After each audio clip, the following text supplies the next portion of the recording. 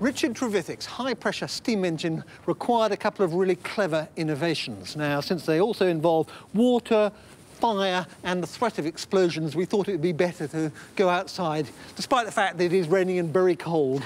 OK, Mark, demo number one. What yes, have you got here? I'm multitasking. I'm making us a cup of tea, which is very needed, and I'm also going to show how Trevithick's made his boilers much more efficient. So here's kettle number one, totally normal kettle with some water in it. Here's kettle number two, but with a fire tube in the middle. Now this is a, a tube that goes from bottom to top and it's one of Trevithick's best inventions. It's, it's, incredibly banal, isn't it? I mean, really just sticking a bit of metal. It doesn't sound very clever. You say that, but it's going to make this kettle boil so much faster and actually he made his boilers revolutionary. So it seems like an obvious thing to do, but that's all great ideas are a bit like that, aren't they? They seem obvious in retrospect. So what happens is, because you've got a tube down the middle, you've got the hot air from the flame is in contact with much more water. So you've got, in a sense, a much faster boiler. OK, and your prediction, presumably, this one's going to boil before that one? It's not just a prediction. Come on. it's going to happen.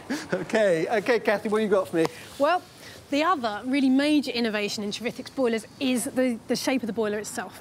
Now, if you can imagine, high pressure water wants to get to a spherical shape. So the ideal shape for a boiler is spherical. Now, they're practically impossible to manufacture. So the second best thing you can do is a cylinder. Mm -hmm. So if you imagine this is the Boulton and Watt shape boiler. Yep. This is Trevithick's new nice cylindrical boiler.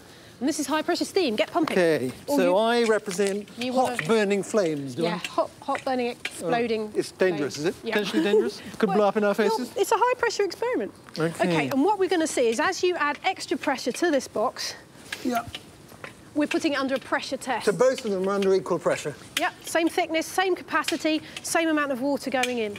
Something so if, should happen. If you imagine trying to do high pressure steam with Boulton and Watt's box, this is what would happen. Okay. All the water inside is trying to get to being a sphere inside yep. a cube.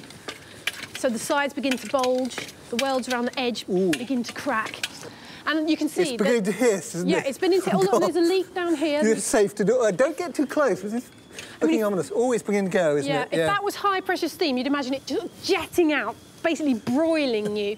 so this is why it's Oh, there it goes. You can see the squirt coming yeah. out of there. It's absolutely spraying out here now. that one is, the other one's looking rather good. Do I dare do another one? Oh, yeah, there it goes. And that's the problem. And this is basically steam just pouring out here. Fortunately, this stuff is cold, but uh, if that was hot steam, then I would be, be scalded alive. This is really very, very impressive, I have to say, because this one is absolutely sprung away. This one, the Trevithick machine, if you like, the Trevithick boiler is completely intact. And good old James Watt is leaking like, well, he's leaking I've like... I've got some steam over here too, guys. Tea's ready.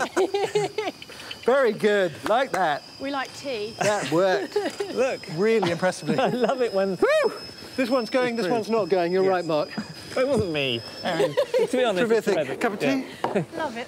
One for you, one for me, one for you. One for Mark. One for Mark. There it goes. Now, all the all the other people who who followed him after this, they all used these fire tubes. They stuffed their boilers with them. Stephenson, a lot of them, they they just love this invention. Richard Trevithick, what a guy.